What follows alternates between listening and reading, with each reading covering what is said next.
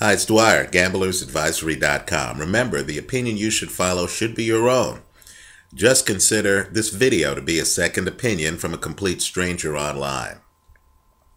You know, for sports fans, in the rest of our lives, when we think about professional team sports, we understand that there is a huge difference, huge, between the level of play for our local high school football team the level of play at the college football level and the level of play in the big leagues, right? No matter how good our local high school baseball team or high school football team looks, no matter how good they look, no matter what their record, they could be unbeaten on the season. I think most of us intuitively know that if our local team were to play a Major League Baseball team or a National Football League team, a professional level professional league team, that that local high school team would get crushed, right? For every Reggie Bush on a high school level, there is an older, wiser, more battle tested, savvier Reggie Bush on a pro level. And no matter how good the local high school coach is in football, let's say the local high school coach is innovative, has several wrinkles in his offense, keeps the other high school coaches guessing, it's very unlikely that that local high school coach has the resources available uh, or the level of athletes on the team that someone like New Orleans Saints head coach Sean Payton has at the pro level, right? So we wouldn't confuse an unbeaten record in high school with an unbeaten record in the pros, right? What Tom Brady is doing in the pros is much more meaningful the statistics matter a lot more than they do for the local high school football player, no matter how dominant statistically that high school player is. For some reason, in boxing, we forget that. We look at a fighter's record and we say, oh my God, this guy is 10 and 0. He's 20 and 0, or he's 20 with three losses. And we think that somehow that means he's ready to fight a guy who's held championship level belts, a guy who's been on TV numerous times, even if when he was on TV, he lost to championship level elite competition, right? For some reason, we feel that up and comers who have fought a list of people we don't even know, whose names we can't pronounce, are ready to fight and are viable opponents for a world class level fighter who we know and have watched against other world class competition in numerous fights.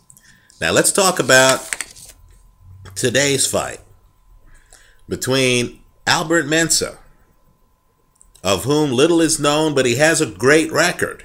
Great record. Right? Albert Mensah and Michael Katsidis. Right? Many people are looking at Katsidis as someone who has lost three of his last four fights. There's an article on ESPN right now uh, that says that even Katsidis doesn't know what he has left. And of course, Katsidis, who was fighting at 135 pounds, is now fighting at 140 pounds against a guy with a great record.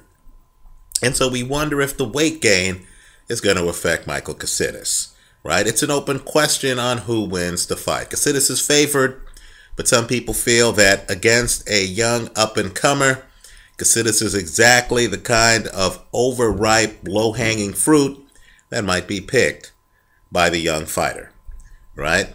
Now, all I can say is you've got to be kidding me.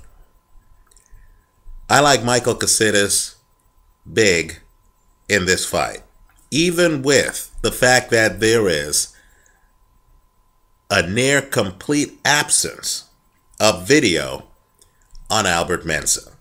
Right? There's hardly any video to review on Albert Mensah. There's only about a minute of video that I've come across on YouTube on Albert Mensah.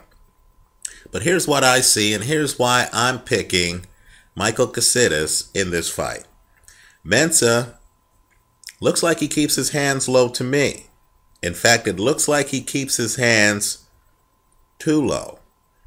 Now, some fighters at an elite level can get away with that. Sergio Martinez often has his hands dangling below his waist. Take, take a look at Carl Froch when he gets on a roll. You know what? Even his lead hand is dangling below his waist.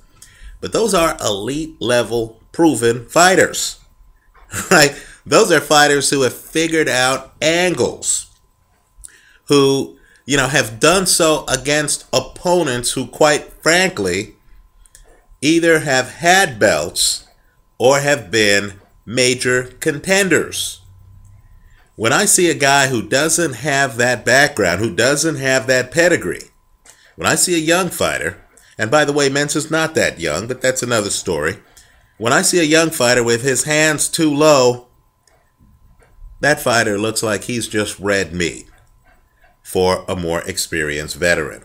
And more importantly, in the one minute up film, that I've seen on Albert Mensah, I'm noticing that he gets caught up in shootouts.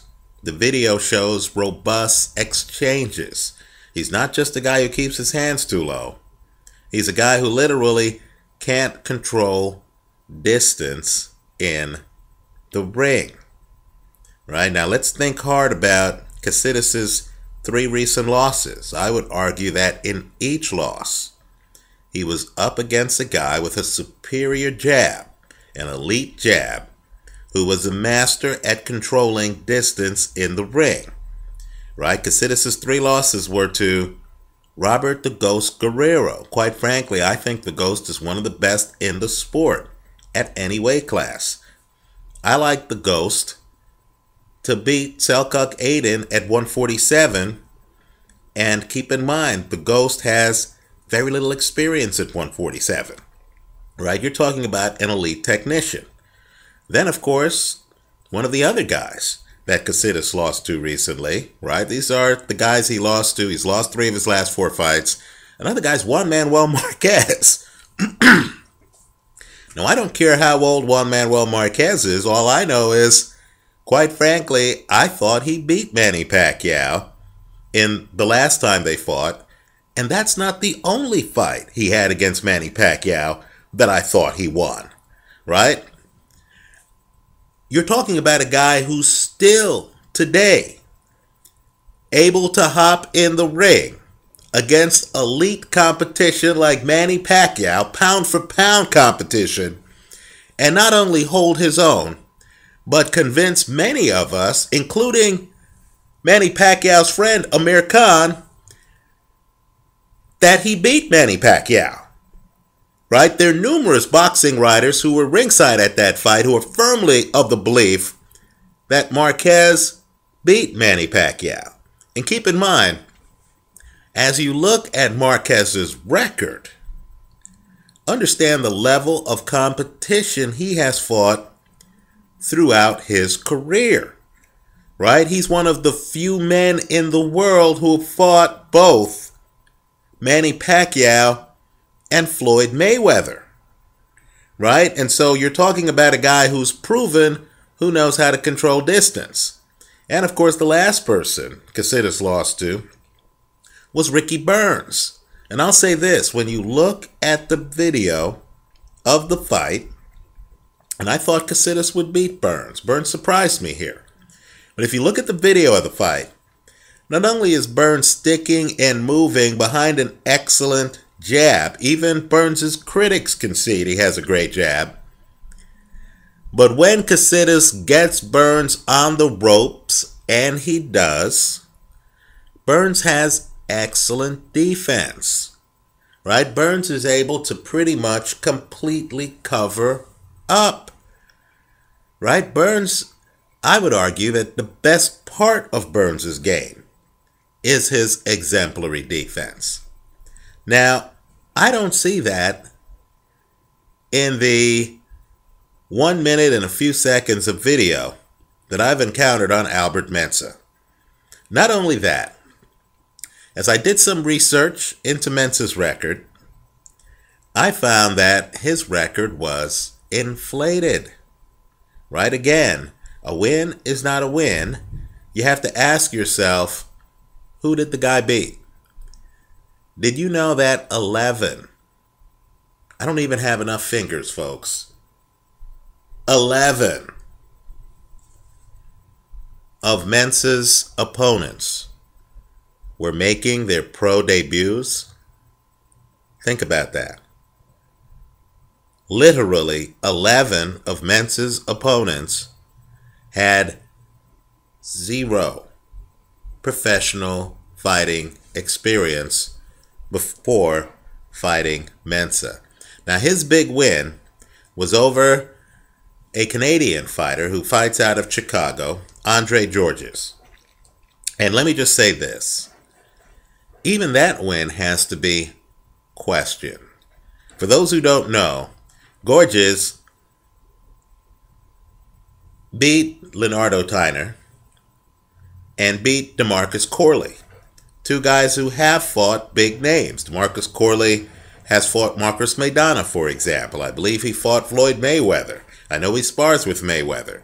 I know that Lanardo Tyner uh, fought Saul Alvarez, right? Well, Gorges beat both of them, right? And then lost to Mensah. So people are saying, hey, this shows Mensah can beat quality opposition. But understand, both of Gorges's wins were split decision wins. Right? His style isn't that judge friendly. More importantly, he fought a guy who was 5 and 0 in his career in a 6-round fight. And Gorges actually lost that fight by 4 rounds on each of the judges' scorecards. Then when that guy, who's an unknown fighter, fought his very next fight, he got knocked out early. Right? When you look at the film of Gorges against Mensah, they're just throwing hooks. Neither guy looks like he can control distance that much in the ring. Right? And so my point is simply this it's not about record, it's about style, it's about effectiveness. Right? When I see a world class fighter, even one who's lost three of his last four, who's gaining weight from 135 to 140, when I see a world class fighter who's proven, who actually had his moments against Marquez, knocked Marquez down, who hits hard, who has the stronger punch, and he's gaining weight to fight a guy who quite frankly has fought 11 guys making their pro debuts, I'm a skeptic of the opponent. Right? We'll even go further. Mensah doesn't have a big punch. He doesn't have a huge knockout percentage. And that's against very questionable opposition. Now, in boxing, often you'll have a ringer. You'll have a great fighter who early in his career, for whatever reason, fights a bunch of nobodies to build up his record. Look at George Foreman's early career, right? Foreman obviously had championship level skills, but Foreman wanted to make sure that he had a great record as he came up through the ranks, right? Or at least the people supporting Foreman, right? When you see a guy fighting this low level of opposition like Mensah has, either he's a great fighter who has money behind him, and they want to ensure that he's unbeaten so that when he gets to the meat and potatoes part of his career, he has the unbeaten record and, you know, at minimal risk. Either he's that fighter or he's a pretty pedestrian fighter who literally has been carefully guided to a big payday, right? We'll find out early in this fight which one Albert Mensah is. I question whether he's George Foreman. The film clip I've seen, it's short. I'm not here to say I've seen a lot of film on the guy. It's short. But the film clip I've seen makes him look limited. In fact, it makes him look like the low hanging fruit for Michael Katsidis. I'm taking Katsidis in this one. I'd be surprised if any guy who doesn't have a big punch, who leaves his hands as low as Mensah leaves his hands, has a viable opportunity against Michael Katsidis, who is a big puncher. Let me also point out, too, that when an older fighter gains weight, like Katsidis is, right, at this point in his career, you really have to ask yourself has he been draining himself artificially to lose weight for years? Right? If you look at Bernard Hopkins, who was 160 for years, and if you look at him toward the end of his run at middleweight against Jermaine Taylor, both of those fights, you're going to see that Hopkins looks far less energetic than he looked at 175 after he gained weight late in his career against Antonio Tarver and Kelly Pavlik. You could tell that the fact that Hopkins could actually eat a little bit more, didn't have to drain himself to, you know, stay at 160, could actually have dessert, actually helped his game late in his career. That might be the case with Michael Katsidis. While I'm a skeptic of older fighters who lose weight to fight at a lower division. Right? Some pull it off, Anthony Mundine, but I'm a skeptic of that. I'll look the other way. I don't mind if a fighter gains five pounds, like Katsidis does, at this stage in his career. It might even help him in terms of his stamina as he might be better fed in the ring. Let's see what happens. The fight is televised. It's on ESPN. I'm expecting Michael Katsidis to blow out Albert Mensah. I'll be the most surprised man in the room if Mensah isn't exposed. If he's George Foreman, more power to him. I question that. Based on the film I've seen, I'm a skeptic. I like Michael Katsidis in this one. I'll be surprised given how low Mensah keeps his hands. If this fight goes the distance. I like Michael Katsidis in this one. Let me know what you think. Leave your comments for me here on YouTube. Visit us at gamblersadvisory.com. Thanks for watching.